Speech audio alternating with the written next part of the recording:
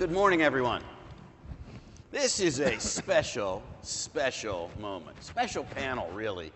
Uh, we haven't seen the heads of the uh, six families uh, gathered together since that famous scene of The Godfather uh, uh, done by uh, Francis Ford Coppola so long ago. So, welcome, gents. I, we, don't have any, um, we don't have any lawyers here. We can talk freely. You're among friends, and we can really get into some, uh, we can really get into some good issues here today. Uh, a couple of things about the way we're going to run this panel today. Some of you have seen me moderate. We're going to have some fun. We're going to try to answer a bunch of questions. Uh, there's some pads and paper in the back. If, if for some reason you'd like to uh, uh, see if you could submit a question, write it down, and somebody will bring it up, and I'll see if I can add it to the, uh, to the list. And we're going to try to keep things moving rapidly and cover a lot of, uh, a lot of ground. This is a rare moment because I'm not sure this group will ever be gathered together again. Uh, we have um, people here who have, have, helped create the media services revolution, and we have uh, uh, people that, Jack, I think you've just announced uh, your retirement, right? So this will be one of the last times that we'll be uh, uh, together on a panel. And I, I guess I'd like to start with, with you, if you don't mind. You were one of the guys that really helped create the freestanding media agency. You, uh, I think Bill is way too generous to call me the architect. You perfected it, you invented it, you were part of creating it. Are you happy? Are you happy the way it all turned out? Is this the way you wanted the media services revolution to turn out? He's retiring. Does that say it all? Yeah, I'm very happy about how it turned out. Uh, I guess what I'd say, David, first of all, I was, uh, as part of back then uh, Starcom and then with Irwin, Starcom MediaVest, uh, we were, uh, I guess I was the last into this club, and I'm the first out. uh, and so, you know, I, again, I think there's plenty of credit for people who elevated the role of media uh, in this industry, and, there are, and many of them are sitting here. And like I said, we were, we were really in that time, back in 1997, a fast follower. Uh, there's benefit in being a fast follower. I could see the trials and tribulations that my peers had to face as they created their media businesses. Uh, we saw early on that being a media buying operation at that time alone wasn't enough, that we needed to uh, be a more full service. We needed to incorporate strategy and planning as part of our proposition. Uh, so I think we did all that. Um, I think that we had to, at the end of the day, I think we sat here two or three years ago and we talked about not putting the toothpaste back in the tube. Uh, I still believe that. I think the notion of, of rebundling is, uh, you know, is not appropriate. Uh, at the same time, I think all of us felt at, there was a phrase that we used back in the late 90s when we all spun off that I often remembered called uh, we needed to, uh, to, uh, to separate to integrate. It was really important, I think, for the media departments of that time of the agencies to step up and uh, manage themselves as a business, self-fund their own resources, and become a better overall partner to the marketing communications process. And I believe that's what we did. Uh, I guess so I'm very happy. Now, I'll be even happier that as I look from, uh, you know, as an interested bystander, that this group and the media agencies uh, that are represented will take the next step and lead into the spirit of collaboration that was talked about so much yesterday. I totally buy into it, I totally believe it. And just as we led in other areas in the past decade, I really hope that it's the media agencies uh, that will step up and act as the, uh, the premier collaborators with other agency disciplines, with other outside partners that Rishad referred to yesterday, and nothing would make me happier. How about, uh, I'm not going to ask all of you uh, that same question, but I will defer to you, Irwin. You also were one of the architects of the media services revolution. Are you happy the way this all turned out? Is this really what you dreamed? You know, I don't think any of us in the early mid 90s could have anticipated what's evolved. Um, the truth of the matter is, we can't, any of us, take credit for having been the architects of it because this, at least in my case, was driven by my clients who wanted more focus on media, who were becoming alarmed. You know, people forget that media is consolidated at one agency, right? And yet many FMCG clients continue to retain four, five, six creative shops. And several of our clients, and they happen to be very big in um, they, they were big and they were influential clients. Uh, they came to the agency and said, look, we're not entirely comfortable having the media operation, which has 80% of its business no longer uh, overlapping the agency's business, reporting up through the agency lines. And a holding company was formed and media got separated, and all we did was execute. Okay. But as I said at the outset, I don't think any of us could have anticipated the scope of the business, the globalization of the business, the complexity of the business, the fact that almost all the quantitative practices wound up housed in the media agencies. And um, it is what it is, but it's part a reflection of the increasing complexity of the media landscape. Uh, and it just takes more brain power, more effort to get the job done today than it did 15, 20 years ago. And our scale reflects that. Yet, you know, I look at this and I say, it's, uh, here we sit at the end of the revolution, and there's, uh, you know, seven white guys up on the stage. I mean, what does that say about, uh, what does that say really about, about where we are? Why are there, uh, why, why, why is there just seven white guys sitting up on the stage? Says we better, one of us better get off fast. Uh, let, us move to a different. Let's move to a different area. Now, Nigel Morris, my colleague from. Uh, you know, I'm just gonna. We, um, one of our agencies, Maxus, yes. Um, just appointed a new global CEO as Kelly Clark moved into his Group M North America role. Fantastic. The new CEO at Maxus is Indian, and he is based in India. Terrific. Okay, okay good sign. And we didn't do that as a statement. We did it because the gentleman happens to be particularly talented. But I, I think those days are kind of behind us as well. Good. Uh, Nigel, let's turn to you. Um, why don't we start with, uh, with the news of, uh, of the sale to Dentsu? So here we have an agency, Aegis, a media only um, enterprise, that gets built into a global company and is sold to Dentsu for $6 billion, something like that. Roughly. Give or take uh, a few hundred million here or there. I think I'm pretty close to 6 billion. Um, tell us for a second about, you know, should we, if you just look at what you've done, and you look at, uh, at Dentsu making a huge move, first time, one of the great agencies of all time, uh, housed in, in Japan, makes the decision to spend $6 billion to buy Aegis. Deal's about to close. They have no creative entanglements, they have no geographic uh, uh, conflicts with this move, and they have an agency leader who's six foot 11. Should we be frightened? um, I think, I think, um, I think Dentsu, it, it, don't underestimate how big a move it is for them. Um, because obviously, you know, they're, they're incredibly well established in Japan. Uh, they have a very interesting business model in Japan and, uh, and very innovative in the way that they've embraced convergence, embraced uh, technology, and when they've made investments outside of Japan, uh, they've tended to be um, quite selective uh, and, and, nurturing, I think, over the last, certainly over the last five years, and they've learnt from some of the mistakes of the past. Um, you know, but this is obviously a very, very much a step change for them.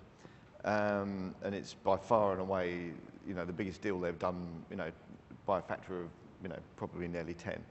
There's enormous amount of complementarity between our businesses in terms of geography and in terms of services. Um, and, and, outside of Japan, their main focus has been around uh, creative and McGarryBowen, uh, around digital where there is um, a, a, little bit of crossover with 360i, and obviously we have Isobar and we have iProspect.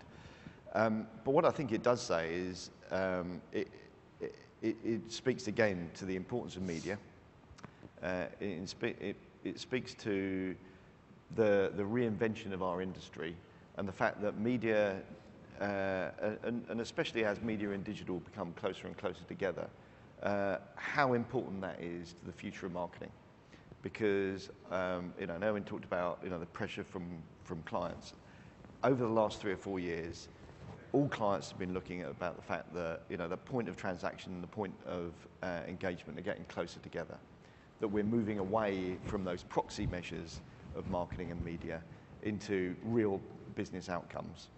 And I think that's a, I think, you know, to say, you know, that the industry should be frightened and my colleagues should be frightened because Dentsu are coming, if you like. I, I think that uh, the whole industry has a lot to gain by leaning into convergence, by really, really focusing on the consumer, what the consumer's doing, and how we can actually use media and use the tools that are now at our, uh, at our disposal to genuinely show what marketing can add.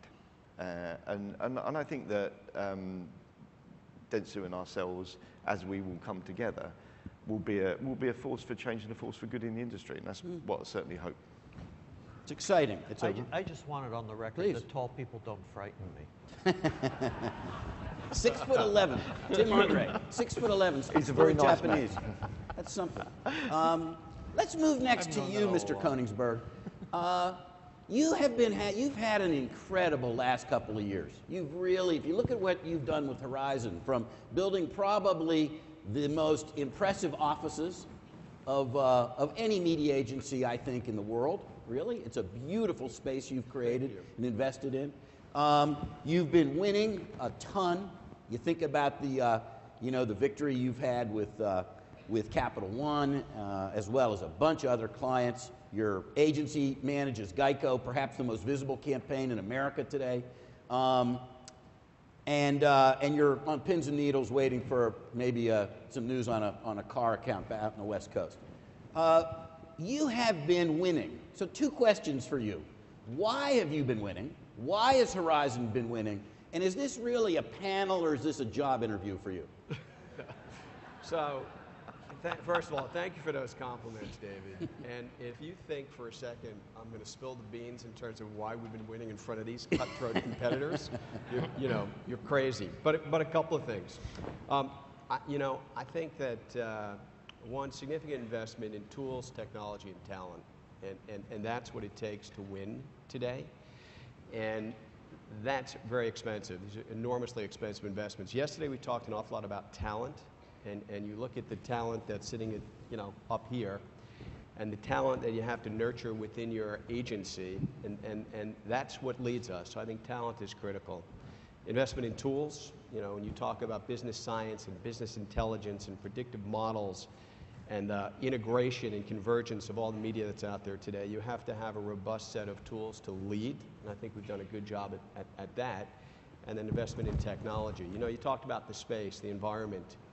Um, people want to come to work at a place that is an experience today, not, not just an office. And I think that we've built out an experience for our people that allows them the freedom, the creativity to think and collaborate, which is critically important.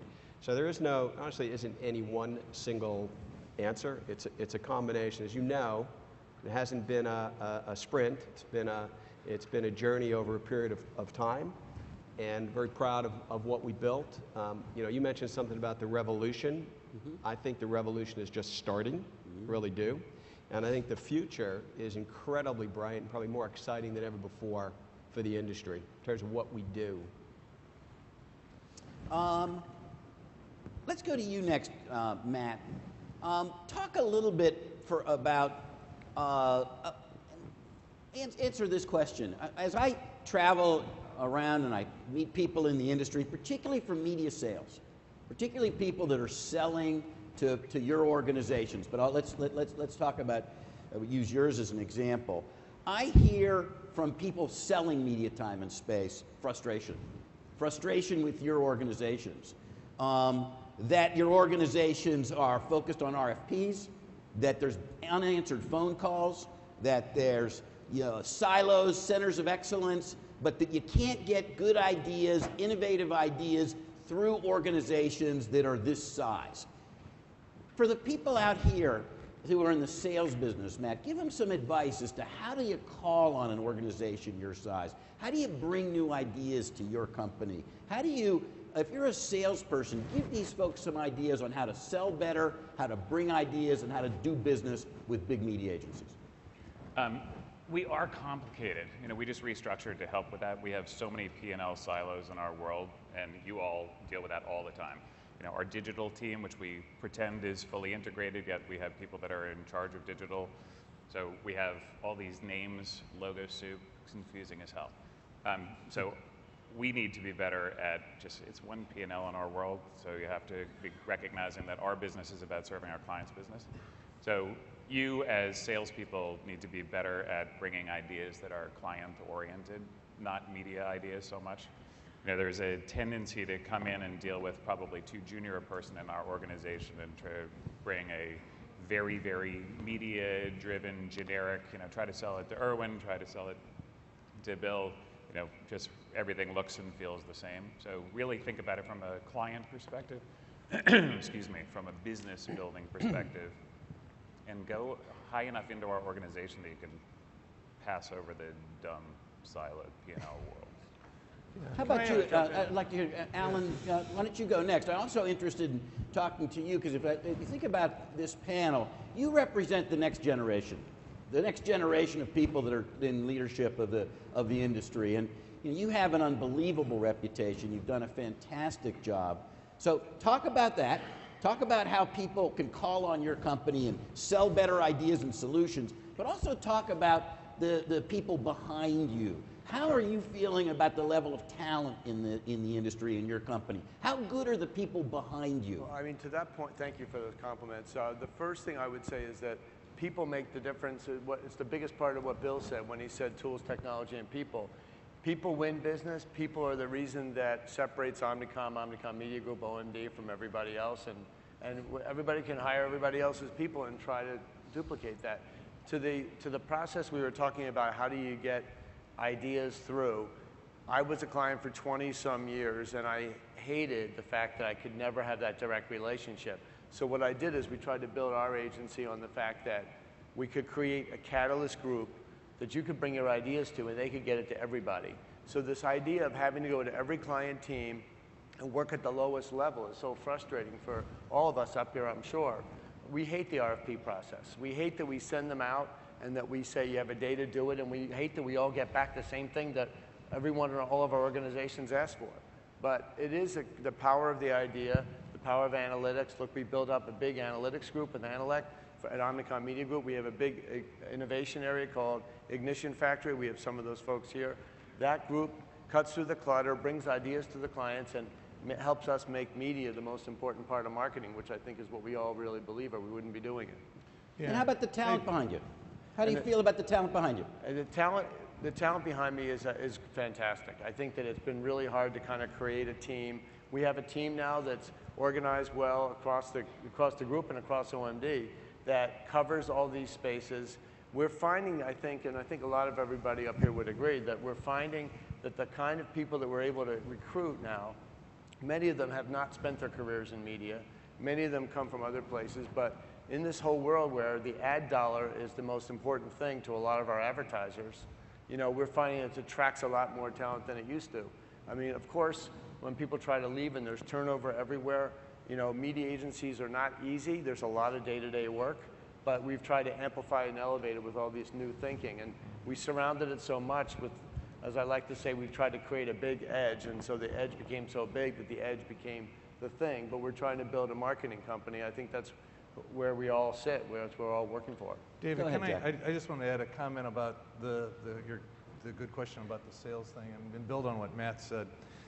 It's, it's a tough deal. I mean, everyone in this audience, all our people, you know, they work 28 hours a day. Uh, there's just not enough time to see everyone you need to see. I, you know, you, you go in the auditorium, you see, you know, newer, younger startup businesses who are out there working very hard to provide potential solutions to age-old problems we have in, the, in, in our industry. My only advice, and I've been thinking hard if I, if, my, uh, if I were in their position, my suggestion is is to focus on accounts, uh, focus on accounts through the agencies. Don't work around the agency, but focus on a couple of accounts.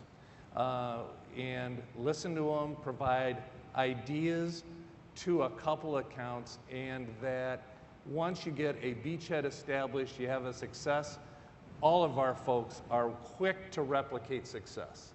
So, and it passes virally in our organization. So, my advice is be smart, identify key accounts, focus on them, listen to them carefully, give them ideas. The second thing I'd have to say is give them scalable ideas. That's the, I mean, that's the problem in this fragmented industry. Our clients look at it, they go, boy, these are all really neat, but they're just not big enough to move the sales needle.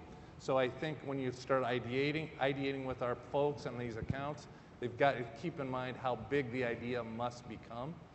And then the last one I really wanted to share was not my idea, but it always sounded like a good one. When, when Lisa Weinstein first came over to SMG and I had a chance to, to re meet her again, she had an idea that we needed some kind of online automated approach.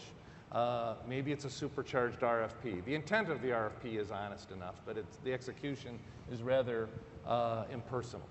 Uh, but somehow to have a mechanism, an online mechanism where we can, where our people can easily access this is what this company's about, this is who's in charge, et cetera, et cetera. But more importantly, kind of like the glass door, there's got to be an opportunity for those who ex- are exposed to those businesses. You have a chance to say, hey, these are good guys, this is a big idea, these guys are schmucks, They're, this is a, t- don't waste your time.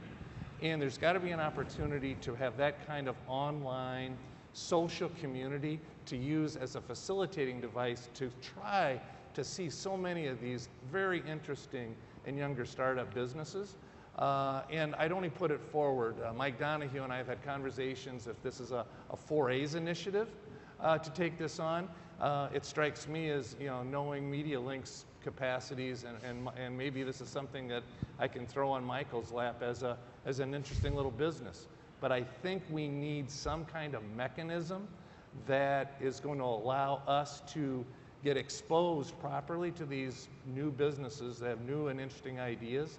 But there's only so much time in the day, and you just it. can't see them all in person. Got it. Hey, hey David, can I just, just go, go back one quick thing to what Alan said about talent? And, I, mm-hmm. and I don't want to sugarcoat it because I think the industry is on very thin ice. And I'm not talking about at the leadership at the you know, second level or third level within an organization, but we're on very thin ice in terms of the new people that we are bringing into the industry. And uh, turnover rates, one to two years in the industry, are abysmal. 30 to 40 percent of people who leave the industry.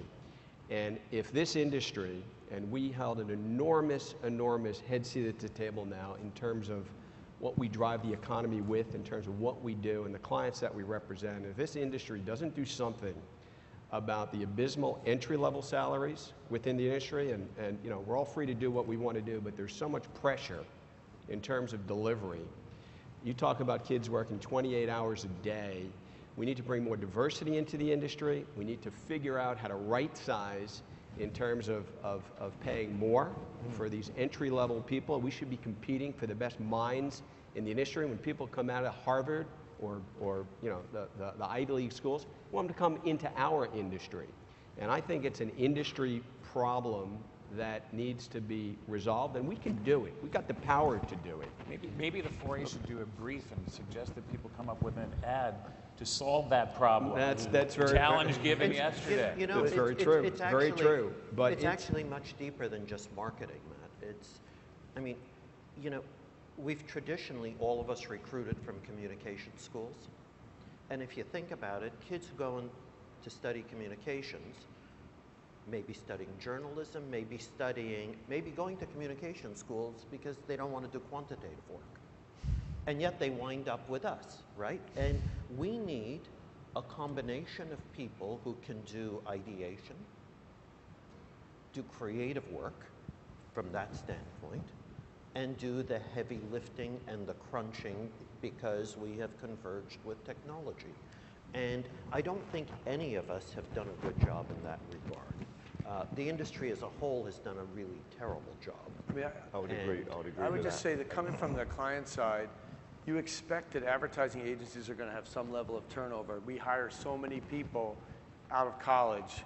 You're not really expecting that those people are going to stay. I'm sorry that Bill has so much turnover in those beautiful Not mine. I'm not referring. We're, Yeah, you having know, great success I got to people tell you, people man. People, people are running to us. They're flocking to us. best, best place to work two years in a row by Ad Age. We're recruiting, by the way, so not a problem with me. Attaboy, Billy. I'm just trying to help the industry. I'm That's- just trying to oh, lift oh, your guys' very game. Thank you. All Thank you. We that's need what I'm trying to do.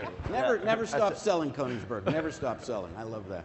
Um, let, us keep going, and we have a bunch of other uh, things to cover. I want to keep this moving. There's so many things. This is such a rare moment to get you guys up here on stage. Let's do a couple other things. I'm going to ask a tough question to you, Nigel. Um, uh, GM is the biggest win in the history of the advertising business. A global consolidation of the General Motors account. I believe it's the largest win in history. Um, it was said, correct this misperception, it was said that transitioning the GM business to Carat was extremely difficult and was a challenge. Half your staff in Detroit used to work for Jack. Was this really, Joel Ewanick is gone. Is this really change what you've done with GM, or was it really just a fee negotiation? And second, does the future look like GM and Carat? Is the future global businesses like GM of consolidating with one agency? Uh, so two things. Uh, the only thing that will, you know, the only thing that will out over time will be the truth. Um, uh, I think that we've made a dramatic change in the way that GM have done business, uh, a dramatic change in the way that they handle communications and media and the importance of media in their business. Um, I think that it was an incredibly brave move for them to go from multiple, multiple agencies around the world uh, into one. Uh, and clearly, uh, their decision has been mirrored uh, over the last 12 months by an increasing uh, centralization and consolidation around media contracts for global businesses. Uh, uh, the, you know, every single client who operates on a multi-market basis is facing, facing very significant challenges of having not just to, to do uh, the US, European top five and the BRICS. They're looking at the next 20, the sources of growth in the future uh, uh, are across multiple brands and multiple regions, uh, and multiple markets. And they need to drive that consistency in a world that's very interdependent and transparent.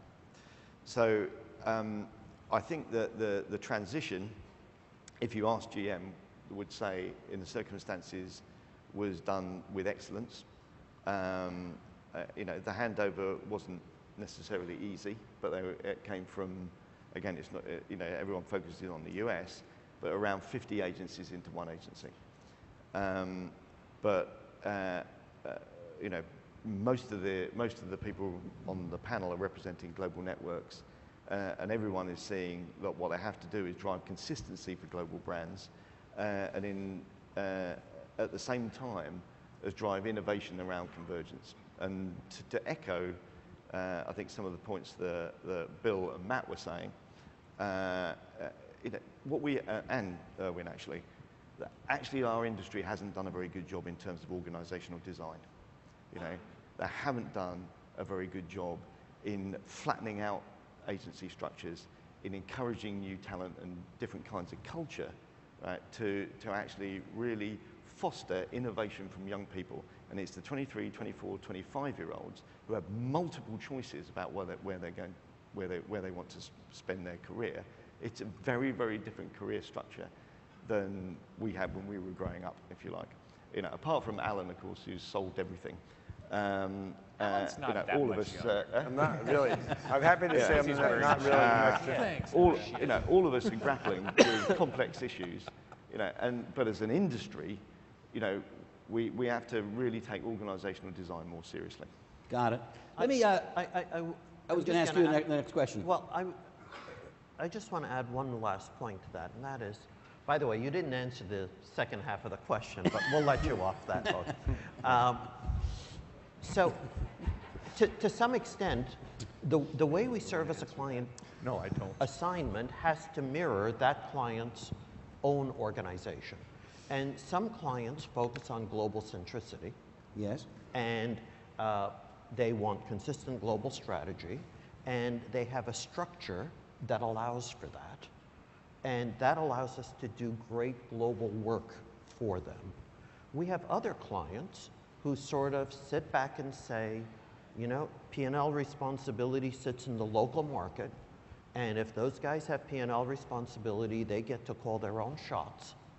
And we can be the lattice work around their structure, Yes. but we can't reshape them into something that they're not. Hmm.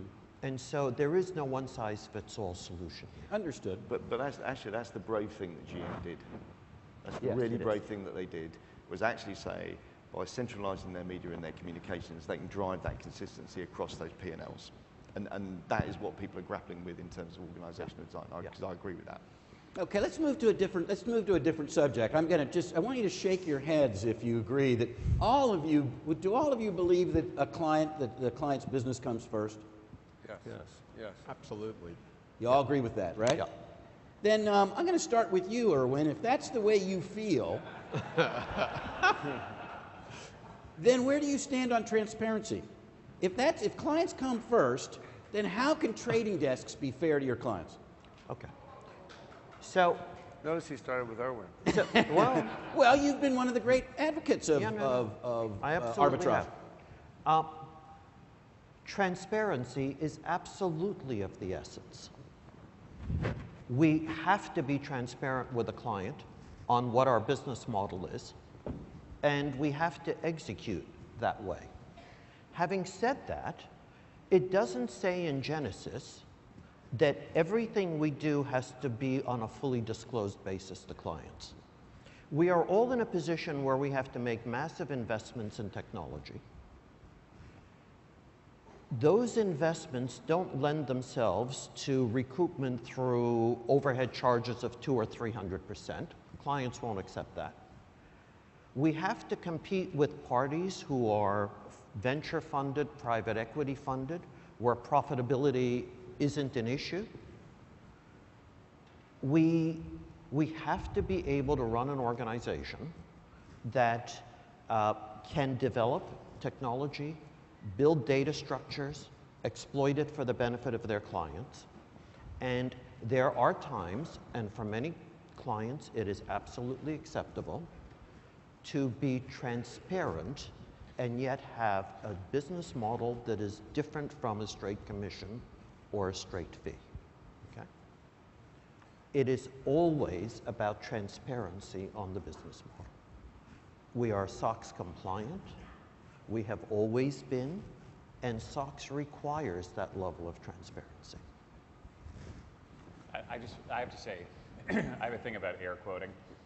So you don't really need to air quote. Your facial expression does that for you. It came from texting. Stop air quoting. But I love that Irwin, when he said transparency, air quoted. That's beautiful. It's not transparent. It's either transparent or it's not. It's not sort of transparent. We are totally transparent. We don't arbitrage at all. Don't believe in it. Um, there are clients of not yours specifically necessarily, but of other people up here who say, we just don't understand how it can be that our agency thinks that our money is their money. We couldn't be farther on the extreme from that. All bespoke, all individual client, all totally transparent. You know, it helps that IPG went through a few restructure uh, restatements, so we are ridiculously squeaky clean. But um, opposite end of the chair and belief structure. of- Mr. Klues, do you want to talk at all about transparency? Your agency is a 100% transparent, isn't it? Yes, we are. But I, what I would say. Air, air quotes or no air quotes? No air quotes. Um, yeah, Let me say two things. It's clear, yeah, our, our model in the, in the DSP programmable space is not the same as, as Group M. That's a fact, and probably is more aligned to where, to where Matt's talking. But, you know, and that's a philosophical difference. But where I would align with Irwin is we need to identify transparently, no air quotes, other models of remuneration if we are to continue to serve our clients as well as possible. Totally. Because right now, guys, we are in a dangerously risky downward spiral in this FTE cost deal that, you know, you know, God bless procurement people. I'm not debating their need. Uh, I'm just asking for some, ba- I think we all would just like some balance in those approaches. But at the end of the day, you know, it is what it is. It's supply and demand. And I think maybe there's a few too many of us and too few advertiser dollars and clients to chase, and we're going to get squeezed. So the only way you can continue to be a vital business and a vital partner to your clients is to, is to explore alternative models. All I would say is we do that with, you know, and I think everyone would explore those models with transparency, no air quotes. So yeah, I think you got to separate for me um, Group M's approach to programmable versus maybe ours, but the intent I appreciate. I think you also have to look at what's happening over the next five years, which is the business could be evolving into two buckets. One that's all thought leadership, consulting, ideas, and making big data big idea driven because big data on its own probably just sits there. But on the other side, it is the programmatic buying, and how can we get the best business building results with transparency? Nobody, everybody wants a base level of tonnage to get their business done if you're a large client. And then they also are driven by big ideas that actually drive their sales and build their business on top of that. I mean, if you can Alan, do both. Alan just hit a key thing. If it doesn't perform, don't buy it. In, in, in the end, it's going to be about outcome. More and more, every single day that goes past, we're going to be more and more accurate about measuring the outcome against every dollar that is spent. And it doesn't matter what uh, and how you affect that. It is what is the business result that the 100 million or the $5 actually buys. There, there's one last really critical point, transparent, no quotes. and I'm going to urge everyone on our side of this business to not be naive about the subject.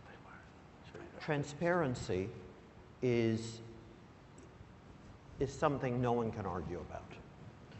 But when you look at business models, we live in a world today where many of our media vendors collect data mm-hmm. and exploit that data for the benefit of their own yield management. It is our responsibility to build technologies that allow us to exploit data for pricing benefit to our client. Yep. That's not about transparency or non-transparency. It's not about disclosure on, or non-disclosure. It has to be transparent. The business model has to be completely transparent. But we have to build data structures, we have to build technologies, we have to be informed so that we can go toe to toe with vendors who are extremely well informed and achieve pricing objectives for our clients. That, that is and, absolutely right. And to argue that point is to be absolutely naive. And, and that's absolutely right. And to be brave enough to follow through and make choices. That's right. That's, Let's I- keep that's moving. Just, that, we could have a terrific, I'm glad we got to that subject. It, it, it going to be coming up maybe later. Let's just get to, we only have a few more minutes left. Let's just get to a couple last questions. Um, Matt, I'm going to go to you with, if you think about the media services revolution, Carat started in 1998. So we're 15 years past the start of Carat, uh, uh, when Carat came to the United States. Um, uh, and I talked about how the revolution has ended. We're now at the end of the revolution. Aren't we happy? There's perhaps the next generation media agency is about to be born. And, and, and many of you, you know, are different phases of that evolution. Does the next generation media agency look more like AKQA, RGA, and Digitas? Or does the next generation media agency look more like Martin, Goodby, and BBD&O? Uh, What's the next generation media agency look like? So I, I hope the answer is yes. Like I, I think that you pointed out that we're a bunch of old, except for Alan, who is old too, white guys sitting up here. The fact that we all look the same is the problem. So I'm really looking forward to a media brand solution looking totally different from a Group M solution, looking totally different from a SMG solution. The fact that we have media agency fathers all talking the same stuff is dull. So I want to have a very different molecular structure. And I think that there should be agencies that have more of a direct focus and some that are incredibly technology oriented and some that are wildly social. That we can't all look and feel exactly the same way. So ours will be um, more on the content side. Ours will be definitely tied to pay for performance, um, but theirs should be whatever they want theirs to be. I, I would just add that I don't really think that any of those agencies you mentioned are the future single agency. I think that media has taken this power of the ad dollar and become the center of conversation today for all of us up here. And how they come back together. Already, our clients, and many of them at, at Omnicom, clients have 10 to 15 different agencies. Like that, that toothpaste is out of the tube or the cat is out of the bag. The fragmentation that we face makes it so much harder to connect with consumers that I'm not sure you can put it back in the bottle and say it's all going to be with one agency. We're going to try to scoop up as much as we can and become that marketing consultant where we can to be advisors on how to spend your money the best, to connect with consumers the best.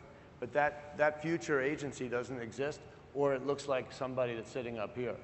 I, Uh, I think, The I only, think the only thing I would say, and build on and maybe what Matt's saying, is I think that, you know, I've had the pleasure of working with some, re, you know, in, in the, the, inside the VivaKi operation, many great agencies, and the models are obviously very successful. So I'm not trying to pick one or the other. Uh, all those children are beautiful. But what I think all three of them focus on, I think, is where we need the future agency, which is technology, creativity slash content, and media. And it's the sweet spot of those three components, which is the future agency, the future quote unquote media agency, uh, maybe the future agency model. Um, I'd also say, you know, to, you know, to build on Mr. Flying Cockroach, uh, I think that we live in, I sincerely, sincerely believe, like Rishad, that it's, you know, that the new agency model must be one of open architecture. It must bring in, it must vet and bring in new partners because, you know, the battle cry in our place anymore is no one agency can do it all. And, you know, I believe in that wholeheartedly. With that, I think we're, we're out of time. I'm going to let, uh, it's appropriate, I think, we should let Mr. Klues have the last word. First of all, a big round of applause for Jack Klues, and good luck. You've made a, uh, you've made a real difference in this industry, Jack. It's, a, it's been like an honor to me compete with you. It's, a- That's been an honor to have you kick my butt so many times. Um, you, And, uh, and then finally, thanks. A round of applause to this fantastic panel. It's been great to be together. Thank you, everybody. Thank you, guys.